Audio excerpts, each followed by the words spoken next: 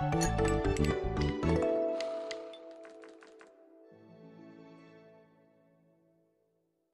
九九五年，考古队员在济南市长清区发现一处两周时期的墓葬群，墓主究竟是谁？为何随葬的顶轨数量如此超乎想象？探索发现即将播出《长清仙人台尸国墓地》下集。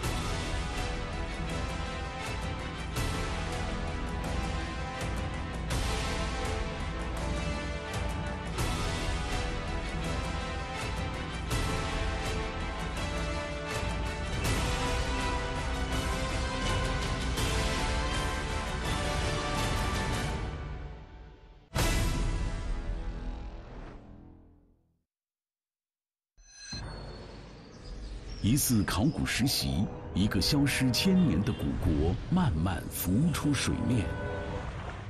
一九九五年，考古队员在济南市长清区北黄崖村仙人台发现了一处两周时期的墓葬群。随着发掘的深入，考古现场迷雾重重。两件原本应该葬在不同地区的青铜重器。为何会在同一座墓地中出现？一座貌不惊人的数学土坑墓，为何会有惊人的十五件青铜鼎随葬？墓主人会是谁？那么我们推测呢，应当是九鼎八簋，但是发掘的结果呢是十五件鼎八件簋，这个超出了我们之前的预测。考古队员还在墓地中发现了大量带有铭文的青铜器，通过试读。他们找到了疑似墓地主人的来历，他们来自一个史书上仅有寥寥几笔的小国。从我们发掘的情况来看，包括考古调查情况来看，石国呢在这里，它的版图呢应该是比今天的长清的行政区划还要小，但是它是当时名副其实的一个诸侯国。两周时期，小国无史。通常只有在与大国交锋的时候，才有幸被记上一笔。关于失国，直到灭国的时候，鲁国的史官才轻描淡写地留下了一句话：“夏取失。”由于历史文献中对失国的记载只有寥寥几笔，史学界几乎没有研究过这个国家。那么，仙人台周代墓地的这次考古发掘。是否能够揭开尸骨的神秘面纱呢？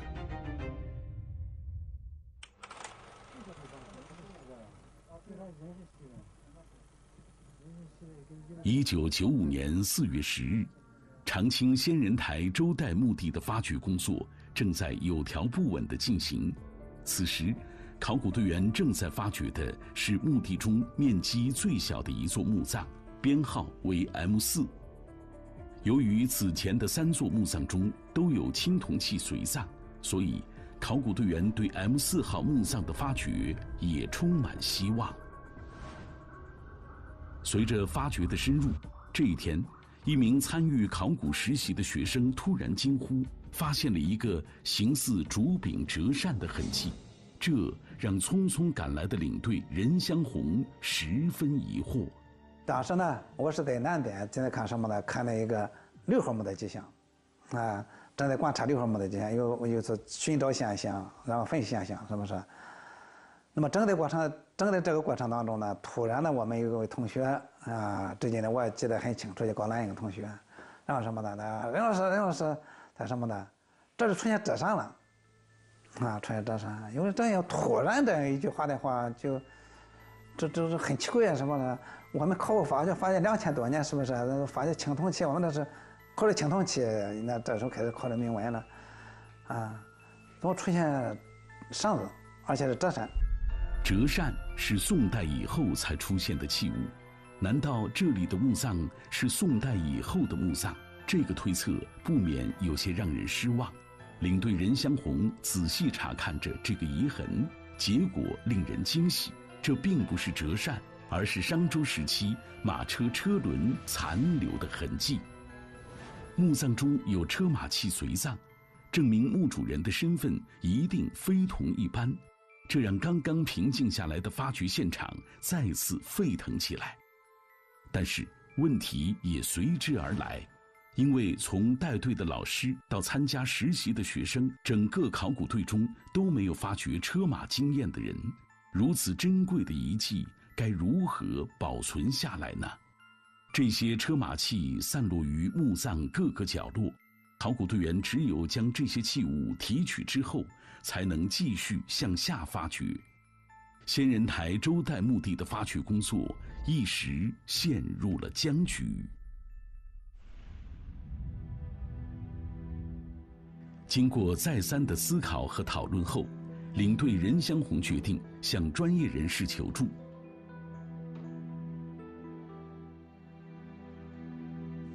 当时，同样在山东大学历史文化学院任教的崔大庸成为最合适的人选，因为他曾经参与过山西省侯马晋国遗址的发掘。当时，崔大庸的主要任务就是清理随葬的车马器。随葬马车的清理一直是田野考古中最难的工作之一。由于上千年的水淹土浸，原本马车的木质结构早已腐朽成土，所以对于考古队员来说，想要将马车完整的清理出来，并不是一件容易的事。仙人台它是一个比较麻烦的事呢，它是你看见了车以后，不是整车。它是拜，这是春秋战国时期一种，呃，春秋晚期到战国时期一种流行的一种埋葬方式。它是把车拆了，嗯，车轮子靠一边，车厢靠了中间，呃，车员靠了放在边上，车头放在二层台上什么的，它是这种现象。所以你即使发现了一部分属于现世车、遗世车，它不是整体。所以你要在这个墓葬里，在不同的位置，注意这个车到底是埋了几辆，埋了哪些部位，在这里面找了。和相对来说，和找一辆整车那就更难一些。由于这些车马遗迹分布在墓葬的各个角落，所以在清理时，考古队员不得不用各种各样的姿势进行发掘。但是，他们的辛苦也没有白费。在 M 四号墓葬中，考古队员不仅清理出了完整的车轮、车舆。以及大量车马器，而且在这些车马器的下方，他们还发现了数量众多的随葬青铜器，其中包括五鼎四簋在内，共计二十一件青铜器，这大大超出了考古队员之前的预期。M 四号墓葬是仙人台周代墓地中最小的一座墓葬，面积不足十平方米。却出土了目前最高等级的随葬品五鼎四簋，这让考古队员对墓主人的身份感到更加好奇。他会是谁？是否会和失国有关联？不过遗憾的是，虽然墓葬出土了二十一件青铜器，但是经过清理，所有的青铜器上都没有铭文出现。考古队员只能将目光转回墓葬本身。那么，清理过史给我们最带劲的什么呢？就是什么呢？就是墓主人的这个颈部，它的装饰品，应该有八件玉玉片，比较大的玉片应该也是，然后组成了一个相石，然后还是在什么呢？还是在墓主人的颈部位置基本上没有变化。还是落葬的那种那种状态。那么，我们把发现的所有的随葬品清理完之后，提取完之后，我们发现，这座墓葬竟然没有兵器。那么，通过相识，通过没有兵器这样的现象呢，这个可以基本上推断，这又是一座女性墓葬，墓主人是女性，又是一位贵族女性。至此，仙人台周代墓地内已经出现了三座女性墓葬，这让考古队员感到有些奇怪。领队任香红仔细观察着这几座墓葬的位置，他有了一个大胆的猜测。现在呢，我们看一下仙人台六座墓葬的分布图，成一个分布情况。我们首先看什么呢？它的方向都是一致的，都是东西方向，而且墓葬的所有的墓像的头像都是向西。就是说，这座墓的墓地呢，它事先应该就是有一个布局规划的。那么从分布这个空间上，我们来看的话，什么呢？二号墓跟一号墓南北并列。通常情况下呢，这样的什么呢？这样的一个是夫妇并穴的，啊，夫妇并穴墓。也说这个一号墓应该是男性，二号墓呢是一个女性墓葬。那么四号墓跟六号墓是并穴。那么六号墓我们推测，那么它应该呢是一个四国的一个国君。那么四号墓呢，应该就是国君的夫人墓葬，它应该是夫妇并穴的。从考古队员当时绘制的墓葬分布图上可以看出，M 四号墓葬和 M 六号墓葬之间间隔不足四十厘米。如果任香红的推断正确，这无疑将是一个重大发现，因为在两周时期，合葬的女性墓葬一般会礼降一等。M 四号墓葬的主人已经是一位拥有五鼎四簋的贵族。难道他的夫君 M 六号墓葬的主人会是一位随葬七鼎的诸侯国君吗？疑问也随之而来。虽然 M 六号墓葬是整座墓地中最大的一座，面积在二十平方米左右，不过从前期勘探结果来看，这只是一座普通的数学土坑墓，并没有修建墓道。而两周时期。有单条墓道的甲字形大墓，一般是诸侯国君下葬时的标配。有些诸侯国君甚至使用有两条墓道的中字形大墓下葬。如果 M 六号墓葬的主人是一位诸侯国君，那他的墓葬为何没有修建墓道呢？他又会是哪一国的国君？重重迷雾笼罩在仙人台周代墓地上空。为了解答这些疑问，考古队员决定对最后的两座墓葬同时进行发掘，这就意味着接下来的发掘工作将更加辛苦。六号墓的工作量是最大的，而且什么呢，也是风险最大的。当时我就给国家文物局打了个电话，通了个通了个把消息通报了一下，他们特别是个叮嘱，一定要注意安全，啊，是因为这个形势比较。不是那么乐观，注意安全。一个是注意，他首先是人身安全，然后是文物安全，交代的啊，这是还说了不止一遍。一方面为了保证发掘进度，另一方面也怕夜长梦多。哎，这东西挺结实的，很结实，就是没有眼了。实心的。考古队员选择在晚上继续加班加点工作。昏暗灯光丝毫无法阻挡他们的热情，但是如此重要的一处考古现场，如何进行防护？领队任香红不得不再三思虑。那么我们知道呢，仙人台有个特点，那么就是说它是个台地，啊，它是台地。那么它的西边，包括它的北边和南边三面环水。台地呢，它是高高起来的，而且只有一个东南方向呢可以落地相接。而且它一个台子，上台子呢只有一个小岛，那么我们只要把这个小岛把它看好它，那么上边一般是没问题的。所以我们一开始呢，二号墓发掘开始，我们就安排了村子的那边的什么呢？有老支书，有他带一个比较年轻的，有几个民兵，我们叫啊，几个民兵，因为身体就壮一点，然后进行负责安全问题。那么二十四个小时呢，我们争取，呃，工地不能断人。啊，那么夜间呢有他们来值班，我们收工呢也有他们来值班，啊，特别是晚上，我们定做一定要注意安全。但是，随着后期仙人台周代墓地中出土的青铜器越来越多，仅靠村民看守入口已经无法让领队任香红感到放心，所以，参与发掘的师生也开始轮流上岗，一个老师带两个学生。在核心区域值班看守，因为夜间是温度比较低嘛，每人一个军大衣，有棉大衣，啊，然后什么呢？为了安全，你搭一个棚子以后，你在棚子里面还是不安全。我们考虑考虑去最安全什么呢？那么就是跟墓主人一块儿，就在这个塌房里面和和就是守了墓，啊收了墓。我记得有时候有一次以后，第二天早晨，我们上班以后，我们找我们同学 找我们这个带队老师找不见了啊，就风沙吹了以后啊，因为我们那个塌方本来那个风大，本来就风沙比较大一点，我们那个就是春天，我们发现土啊就在上面放着，一干一吹，非常厉害，啊，我们找着我们崔老师不见了，啊，我们特林海是还是那个同学，我也看不见了。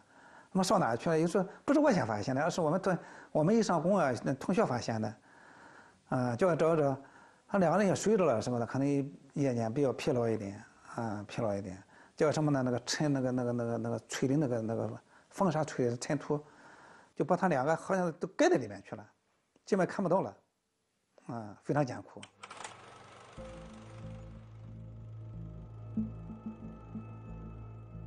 在考古队员的日夜辛苦付出中，墓地的发掘进度逐步开始加快。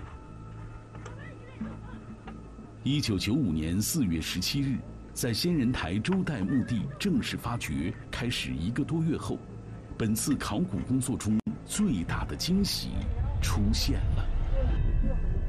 此时，M 六号墓葬的发掘已经过半，墓葬北部的器物箱最先被清理。当考古队员拂去尘封已久的泥土，他们被眼前的一幕惊呆了。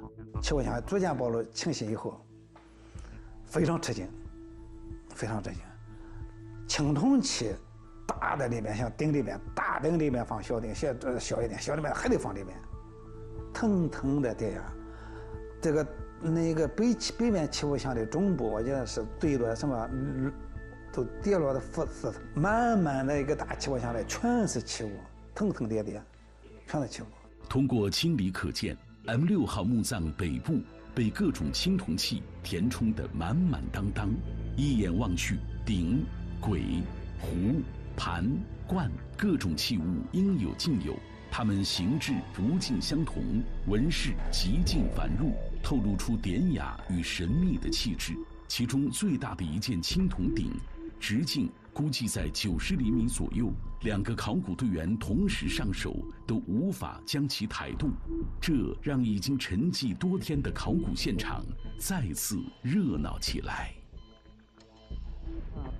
这是一九九五年四月十七日，看几时？凌晨两时，两时清理仙人台第六号墓北边厢的情况。这是一段考古队员拍摄于一九九五年的视频。虽然已经是凌晨两点，但是考古现场的气氛依旧火热。现在已经出土青铜牛至少六到七件。M 六号墓葬中，仅露头的青铜鼎就多达七件，这无疑是一位诸侯国君的大墓。如果按照四号墓的一个这样的一个一个规模。那一个器物坑是不是？那么五鼎四簋直直来推断的话，那么我们就推断六号墓应该是就是九鼎八簋，啊，所以呢，我跟国家文物局和山东省文物局在沟通的时候汇报的时候，要九鼎八簋。当时我记得是是是国家局那个谁还说一个，杨老师不可能出，你那出九鼎八簋？九鼎八簋那那是级别高了，是不是？你那个地方可能吗？不可能是。关键是那个地方，我们发觉它不是一个文物重点保护单位，甚至当时也没有一个，也不是一个文物保护点这么个情况，所以他们不相信。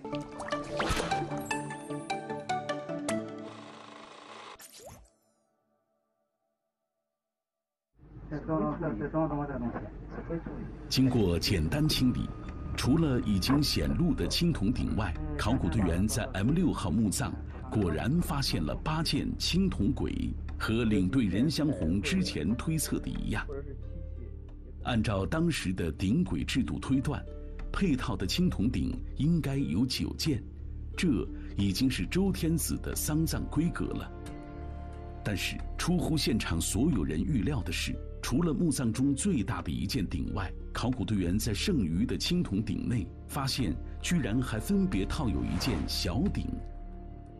最后，在 M 六号墓葬中，他们一共清理出土了十五件青铜鼎。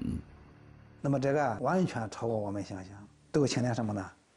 不是九鼎八簋，是十五件鼎八件簋，十五件鼎，十五件鼎八件簋，两件圆壶，两件方壶，一件什么的扁壶，两扁壶，盘椅等等等等的，数量相当惊人。那个那一个方壶，那个方壶高六十多公分，排列布局也非常清晰，非常震惊，非常震惊的。那个监狱那个最大的鼎九十公分直径，这个这个这个这个太震惊了。一下子见到这样青铜器，我们本来就想什么呢？就想挖点青铜器嘛，是不是？多交小别问嘛。一见到这样青铜器，那一下子就从小就兴奋起来了。墓主究竟是谁？为何随葬的鼎簋数量如此超乎想象？考古队员迫不及待地开始研究这批青铜器，但遗憾的是，他们找遍了所有青铜器，同样还是没有文字出现。蓝色的漆和红色的漆相间之间，下面有个洞。一九九五年四月二十日，在 M 六号墓葬内，考古队员又有了新的发现。在北器物箱清理完毕后，南器物箱也开始出土青铜器。这一次是成组的编钟，首先现身的是十一件永钟和九件钮钟，伴随出土的还有十件石边磬以及悬挂编钟木架上的装饰品。这个东西，这个是个大钩。哇，太漂亮了！这个牛啊，牛！哎呀呀！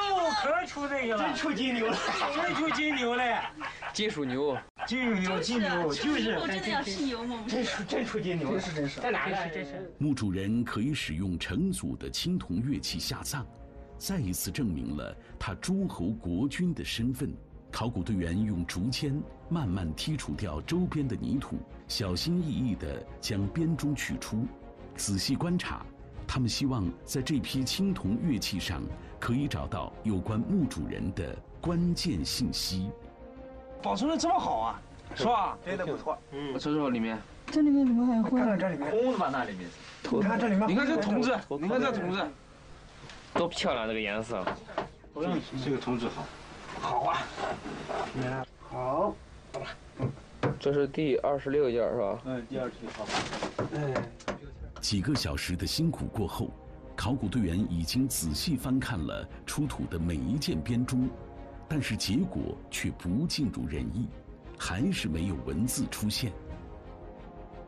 就在考古队员感到一筹莫展时，不远处 M 五号墓葬的发掘工作有了新的进展。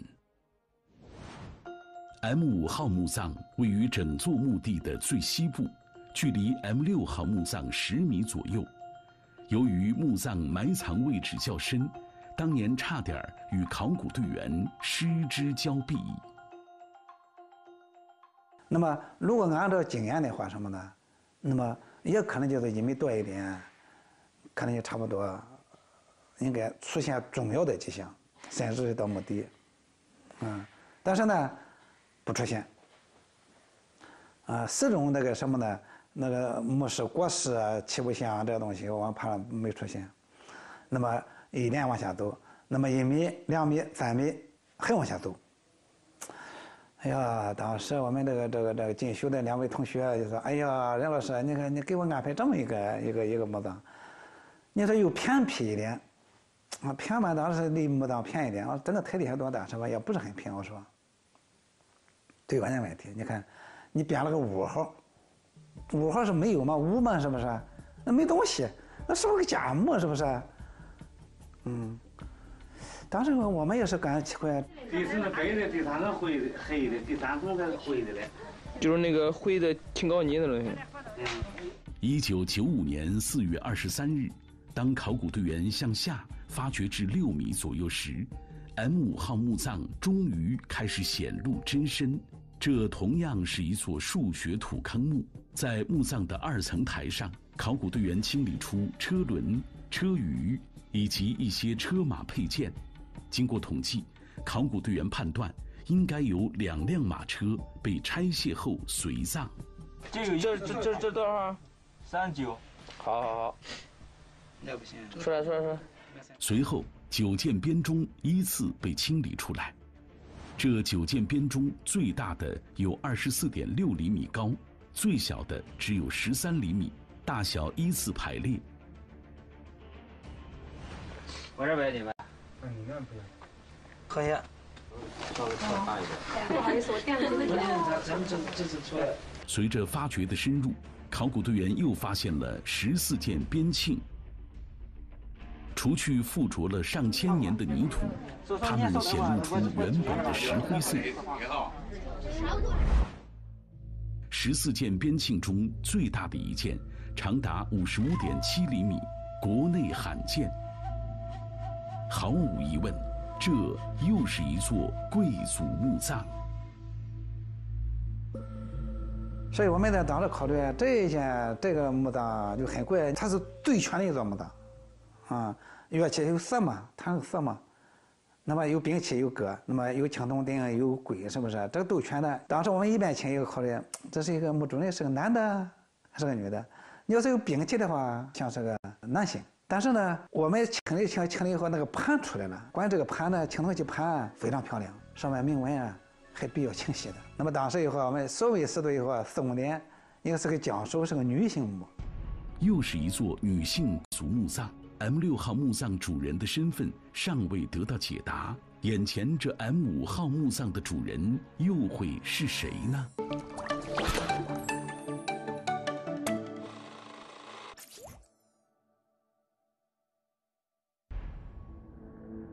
在今天的山东大学博物馆内，展览着一对古雕香薰，他们。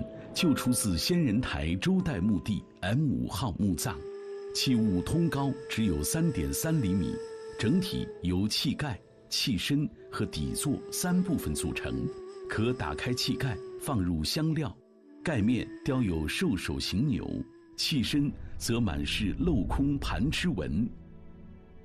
熏炉和香盒往往是当时女性使用的器物，在两千多年前。曾经有一位贵族女性将它随身携带，考古队员推测，这可能是目前考古发现年代最早的香盒。M 五号墓葬乐器旁边摆放的是墓主人的随葬礼器，共有三件铜鼎，除此之外还有对、盘等数量众多的青铜器。但是，让考古队员感到疑惑的是，他们并没有在随葬器物中。发现青铜鬼的身影，取而代之的是一些造型奇怪的青铜器。这三件在我们的简报里边，我们叫它异形器，啊，异形器呢就是不知道它的功能。啊，后来我们突然领悟到，这套东西也是贵妇人专用的啊，它是生生产或者是制作这个化妆品的一套完整的啊一种组合，所以这个。墓主人啊，当年还是一个应该来说很具有爱美之心的这样一位女士。那么五号墓的一个问题呢，你像是它的组合跟其他墓葬不一样。正常情况下的话，应该得是三顶两轨，但是这里的什么呢？这里没有轨，这出现什么呢？两件对。同时呢，我们还可以发现水器，这里有盘，但是有轴，盘和轴来进行相配比。我们知道。前边我们发掘的几座墓葬，像是四号墓、六号墓，盘里边是放的是一这样的组合，但是这里呢是盘和什么呢？盘和轴，所以呢，它跟前面还是在器物的组合上还是有区别的，不一致的。至此，M 五号墓葬已经展现出太多特别之处，所处位置最远，埋葬深度最深。随葬器物组合也和仙人台周代墓地中其他的墓葬不同。那么，这位贵族女性究竟是谁？她和尸国又有何关系？有关墓主人身份的关键信息就隐藏在这件青铜盘内。当考古队员将盘内的泥土清理干净，他们此前苦苦寻找的文字终于出现。铭文共分六行，四十六个字，开头第一句就是“狮子将首即师”。狮子指的是当时狮国的爵位，将首就是墓主的名字。即师，考古队员推测应该是这位叫将首的女子嫁到了狮国。此子将首即死，宫殿位置光光盘，应该是这样读法比较好一点。这个呢断句非常关键，前面什么呢？四字将首，这个四呢，我的理解什么呢？它应当是什么呢？四国的四，应该是国名。子呢，它应该是四国的爵位，就是公侯伯子男是一个爵位问题。如果把这个什么呢这样理解的话，应该是比较顺一点。四子啊，四子将首祭祀，应该什么呢？应该。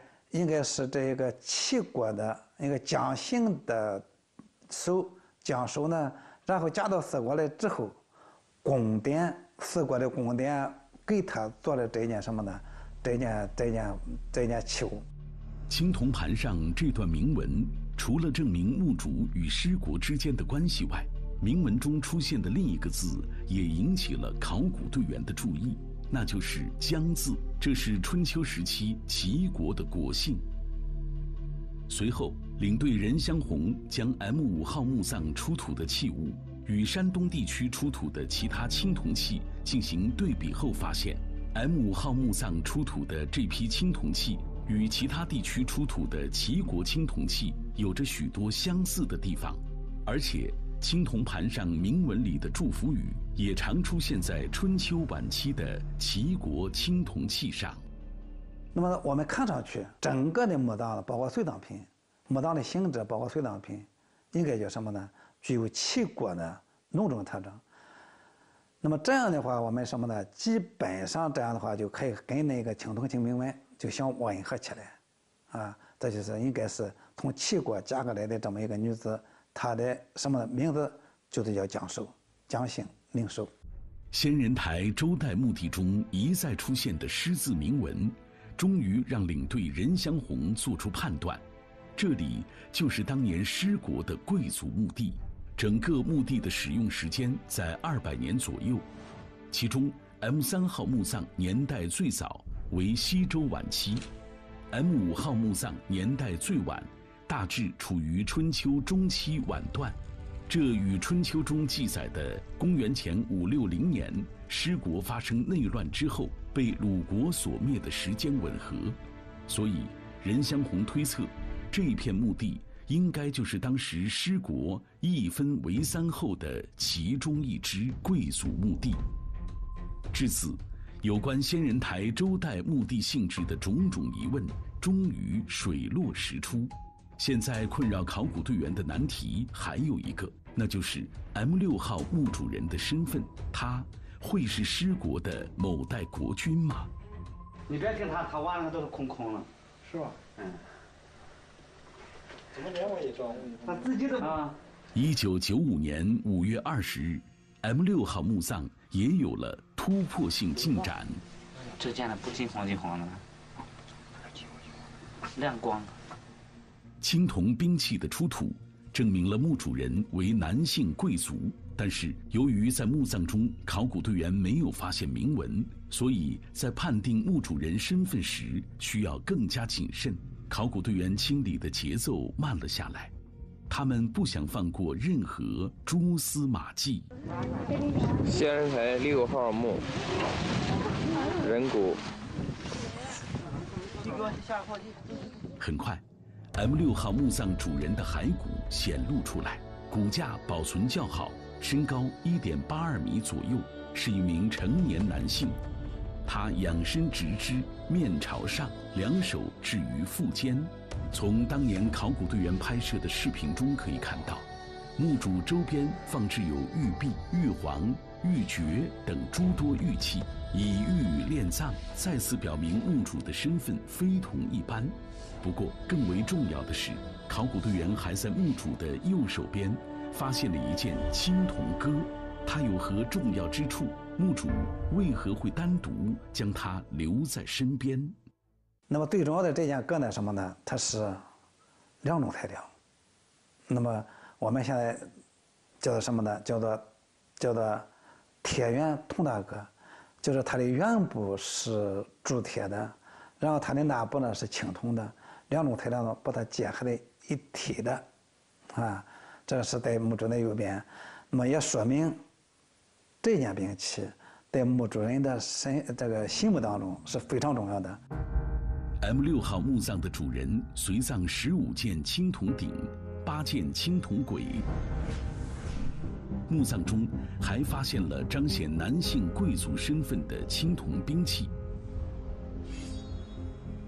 表明权力的铜戈及玉器，综合这些信息，考古队员判断墓主肯定是一位诸侯国君，而且当时诸侯国君下葬肯定是在自己国境内。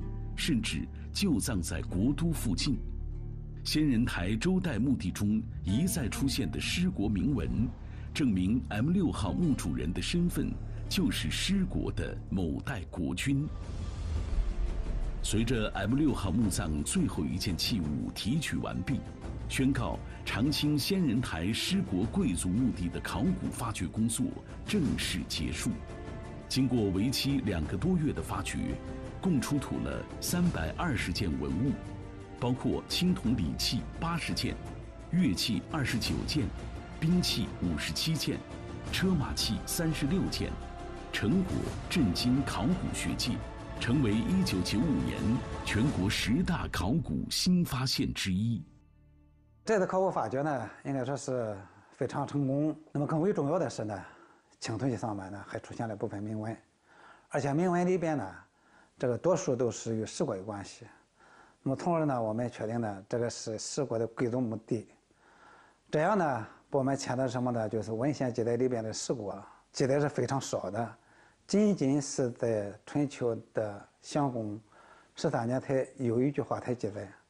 这样呢，我们极大的丰富了我们的文献记载，我们带到了两千多年之前，回到那么一个社会当中去。那么，对于我们了解那一个时期。提供了一个全面的、全方位的一个资料。九五年的发掘啊，为我们保存了一批哈完整的啊一个东方古国的，呃，它的它的墓地啊，呃，是我们能够看到在春秋时期啊礼乐文明的一些典型的一些组合、一些器物的形制。